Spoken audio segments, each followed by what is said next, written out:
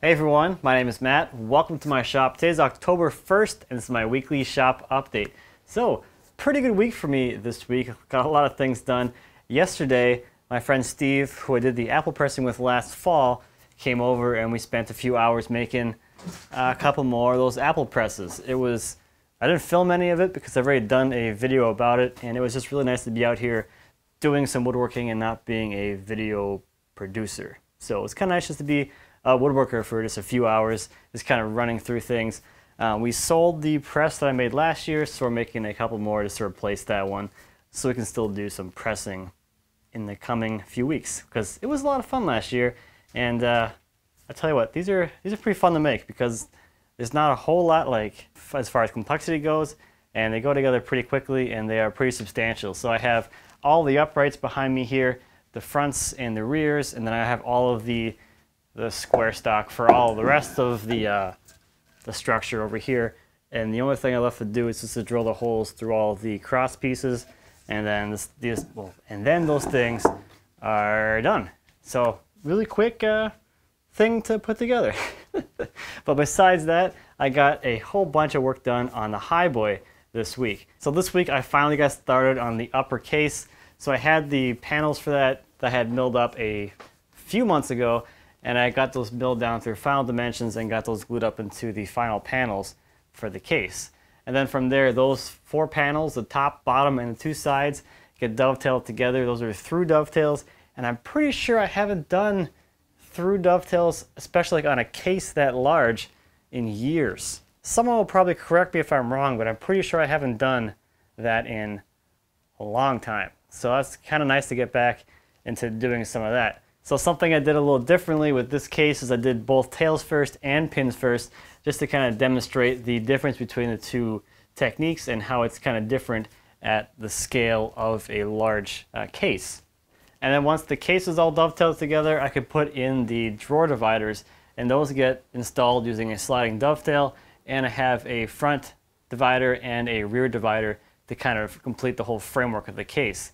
And because I did a hand cut sliding dovetail on the lower case, I'm doing a router-based sliding dovetail on the uppercase. So here is where the Highboy is at right now.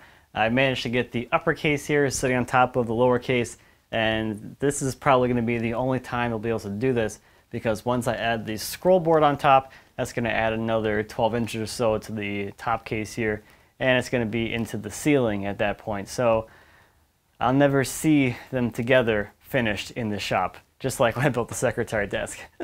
but the next couple things on the upper case, just to kind of wrap up the framework for the drawers, is to add the runners, and those get uh, mortise and tenon between the two uh, drawer dividers, so those will be in there like that. And there's also a false bottom that goes on here, so that's really easily just a, this is it, yeah.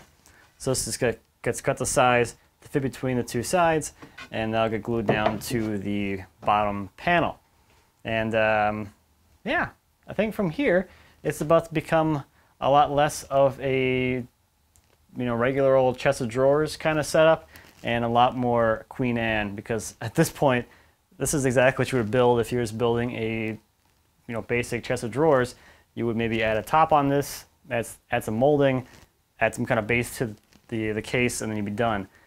But uh, now we start ornamenting things, so it gets that bonnet top, the finials, uh, all the scroll board stuff, and um, yeah, should be pretty interesting now. A lot of fun little details after all this casework. so that's about it for me in the shop this week. Let's take a look at some viewer projects. First this week is a Luthier's Palm plane by Steve. Steve designed and built this plane for his future attempt at making an archtop guitar. The project allowed him to do some metalworking to make the knurled thumb screw and wedge slash chip breaker. He also learned to harden, temper, and form the tool steel blade. I got to meet Steve this summer at AWFS. He's a really cool guy. I'll leave a link to his YouTube channel down below. Next this week is a mallet by George. The head of the mallet is made from Sucupira and the handle is beechwood. The head was cut with a handsaw and sanded with a belt sander and the whole thing is finished with four coats of tung oil. Next is a bookshelf by Chris. This bookshelf features drawbored mortise and tenons, tusked mortise and tenons, and wedged mortise and tenons. It's made from Jarrah and white oak. Chris has a video over on his YouTube channel while making this bookshelf, so be sure to check that out. Last this week is a Maloof inspired rocker by Nathan. Nathan is 17 years old and he built this Maloof rocker in his small backyard workshop for his senior project in school.